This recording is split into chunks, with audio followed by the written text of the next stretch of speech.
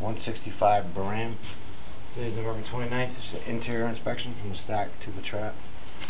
Get the camera to the trap. I Pull back.